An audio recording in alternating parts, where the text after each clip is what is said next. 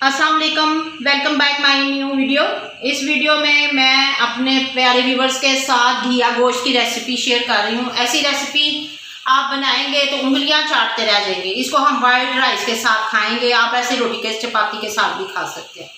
ये मटन है। वन के जी मटन है। टू के जी ये घिया शरीफ है, जिसको घिया भी कहते हैं। ये नबी पाक वसल्लम को बहुत ज़्यादा पसंद था। इस हवाले से भी मुझे बहुत ज़्यादा पसंद है। और वो जब भी इसको लाते थे ना इस ना इस तरह गोदी में उठा के लाते थे इधर से नहीं आ, उठाते थे पकड़ते थे डंडी से नहीं पकड़ते थे। दो किलो घी में एक अदद बैंगन।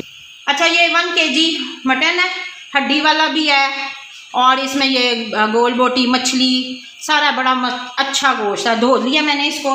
इसमें तीन अदद दरमियाने साइज़ के प्याज हैं गोल गोल मोटे मोटे कट कर लें कोई इशू नहीं है।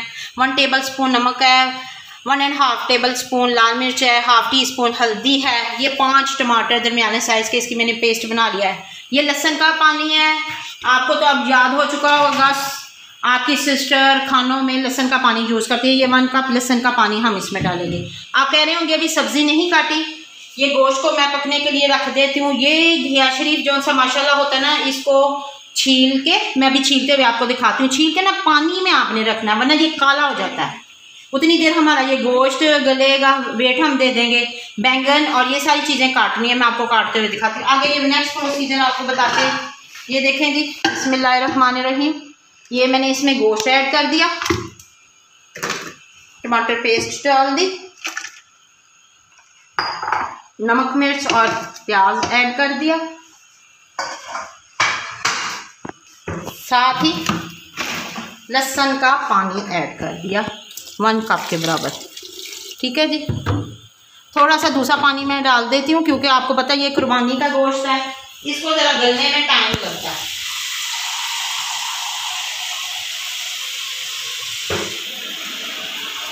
एक गिलास पानी का मैंने और डाल दिया।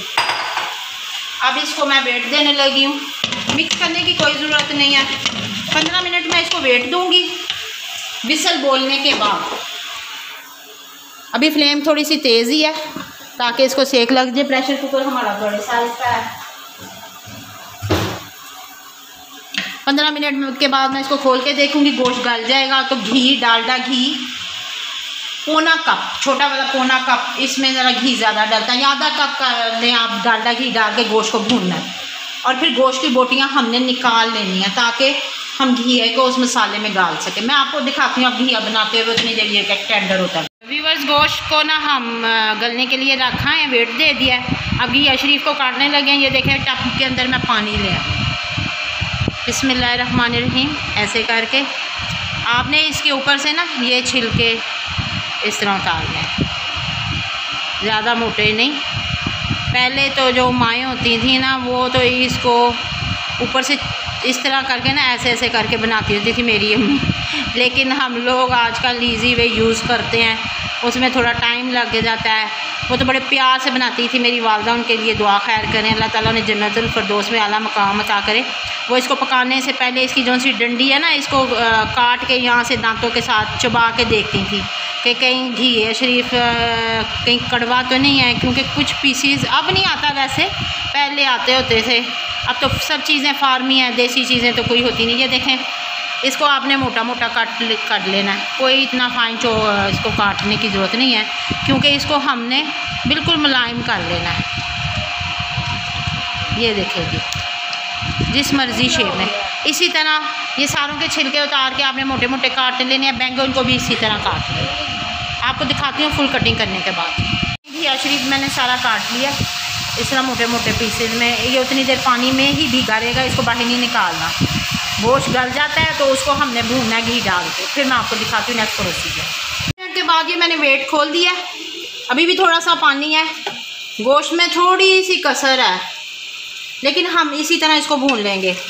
गोश्त को भूनने के बाद डालडा घी डाल के इसको मैं भूनूँगी हाफ़ कप डालडा घी डालने लगी हूँ। अच्छी तरह भूनने के बाद बोटियाँ हम किसी बर्तन में निकाल लेंगे। इसी मसाले में ये घिया डाल के, ये बैंगन और घिया, और आधा कप आधा गिलास पानी का डाल के मैं इसको वेट दे दूँगी।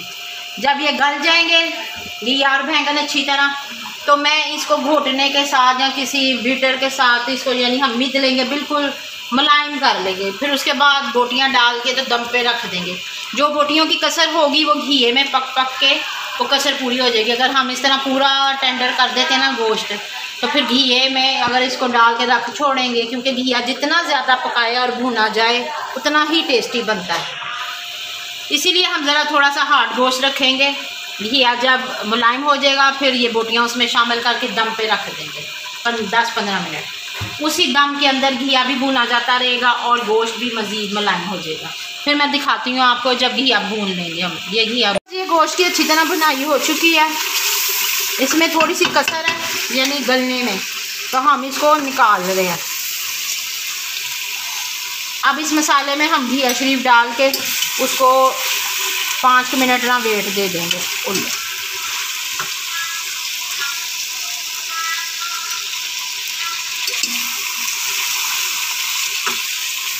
ये देखिए, सारा हमने जो इसकी बोटियाँ इसमें डाल दी और ये इसका मसाला इसमें है। अब इसे हम घिया शरीफ डाल देंगे। मसाला हमारा अच्छे से भून गया था, घी छोड़ दिया था उसने।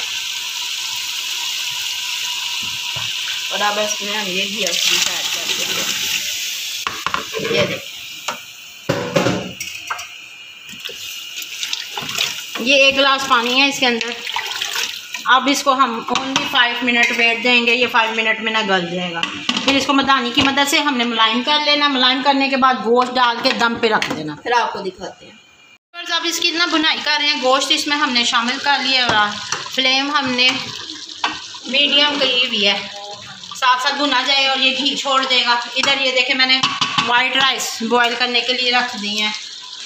तो ये भुना जाता है, घी छोड़ देता है। तो फिर इसमें एक टीस्पून गरम मसाला ऐड करेंगे हम। तो आपको दिखाते हैं फिर इसकी फ़ाइनल लुक इंशाल्लाह ताला भून। ये फ़ाइनल लुक इसकी देख लें, माशाल्लाह माशाल्लाह। कितना अच्छा घी निकल आया, बहुत अच्छी तरह इसकी बुनाई हो चुकी है।